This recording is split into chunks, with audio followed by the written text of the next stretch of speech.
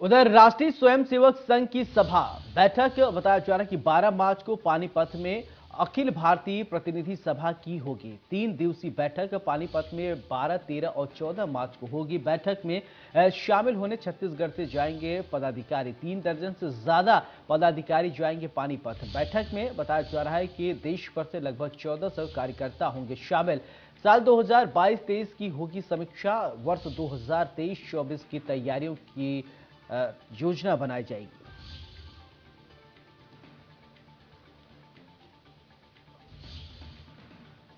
तो बड़ी जानकारी आपको बता दें कि बैठक में शामिल होंगे छत्तीसगढ़ से लोग वहाँ पहुँचेंगे। तीन दर्जन से ज़्यादा पदाधिकारी जाएँगे पानीपत। ये बड़ी जानकारी इस वक्त की आप देख रहे हैं अपने टीवी स्क्रीन पर। राष्ट्रीय स्वयंसेवक संघ की सभा बैठक। 12 मार्च को पानीपत में ये बैठक और अखिल भारतीय प्रतिनिधि सभा की होगी तीन दिवसीय बैठक। पानीपत में 12, 13 और 14 मार्च को बैठक होनी है। बैठक में शामिल होने छत्तीसगढ़ से जाएँगे पदाधिकारी। तो तीन दर्जन से ज़्यादा पदाधिकारी जाएँगे पानीपत। तो ये बड़ी जानकारी।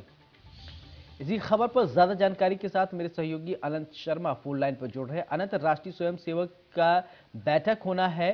क्या कुछ अपडेट इस विषय में?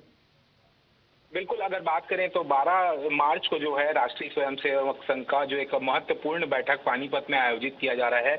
इसे लेकर जितने जो अखिल भारतीय प्रतिनिधि सभा के जो तीन दिवसीय जो टोटल बैठक होने वाली है और इस बैठक में अगर बात करें तो पानीपत में बारह तेरह और चौदह मार्च को ये बैठक आयोजित की गई है। इस बैठक में छत्तीसगढ़ से छत्तीस से अधिक जो पदाधिकारी है वो इस बैठक में शामिल होने जाएँगे। देश भर से जो 1400 कार्यकर्ता है वो भी इसमें शामिल होंगे। अगर बात बाईस और तेईस की समीक्षा होगी इस बैठक में और 2023-24 की तैयारी को लेकर ये जो पूरी जो सभा है वो आयोजित की गई है। क्योंकि अगर देखें तो 2023 में भी कई राज्यों में विधानसभा चुनाव होने हैं और उसके बाद जो है 24 का जो लोकसभा चुनाव होगा उसकी रणनीति की बात की जाएगी। एक रोड मैप तैयार किया जाएगा कैसे और साधा जाए लोगों को इस पर बातचीत की जाएगी। तमाम तरीके से लोगों को आप देख सकते हैं कि अगर हिंदू जो महासभा है उसका भी सभा का आयोजन हर जिन जिन राज्यों में विधानसभा चुनाव होने हैं उन राज्यों में हो रही है। तो इसको लेके आरएसएस भी अपनी जो तैयारी है वो पूरी कर रही है।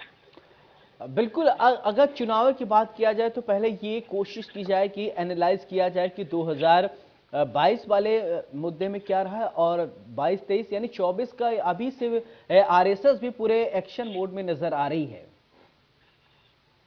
बिल्कुल, अगर बात करें तो आरएसएस भी पूरे एक्शन मोड में है और कहीं ना कहीं भारतीय जनता पार्टी जो है, वो भी पूरे एक्शन मोड पर है। अगर लोकसभा चुनाव की बात की जाए तो केंद्रीय योजनाओं का हवाला देते हुए भारतीय जनता पार्टी 2024 के लिए आगे बढ़ आगे बढ़ रही है और वहीं विधानसभा चुनावों की बात की जाए और खास करके छत्तीसगढ़ की बात की जाए तो छत्तीसगढ़ में जो है पंद्रह साल तक भाजपा की सरकार रही है।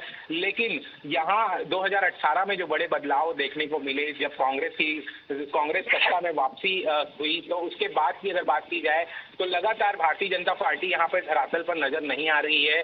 सिर्फ़ केंद्रीय योजनाओं का जो हवाला दे रही है और केंद्रीय योजनाओं को भी लेकर आगे बढ़ रही है। और वहीं कांग्रेस की बात की जाए तो पाँच साल में इन्होंने जो एक नया छत्तीसगढ़ मॉडल पेश किया है, वो किसानों को, युवाओं को, बेरोजगारों को काफ़ी अपनी ओर आकर्षित कर रही है। ये जो छत्तीसगढ़ मॉडल है, उसकी आज देश में भी कहीं ना कहीं धमक देखने को मिल रही है। अगर देखें तो इसी सब मुद्दों को लेकर यहाँ से जो है, छत्तीस से अधिक जो पदाधिकारी हैं, उस बैठक में शामिल होंगे। आगे जो चुनावों की रणनीति बनाई जाएगी, उस पर वहाँ पर चर्चा होगी और उसके बाद यहाँ पर जो छत्तीसगढ़ में इसे इम्प्लीमेंट किया जाएगा।